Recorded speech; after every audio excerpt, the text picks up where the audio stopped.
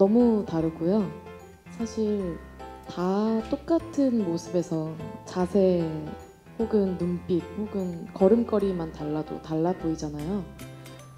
뭐 목소리 그냥 아예 다른 인격이 있기 때문에 진구 씨가 연기를 하시면서 어, 아예 그냥 다른 인물을 보여주셨고 또 함께 촬영을 할 때도 어, 그냥 온도가 다르게 느껴져요.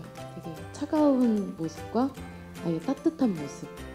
그래서 그냥 차이를 자연스럽게 두면서 저도 연기할 수 있었어요.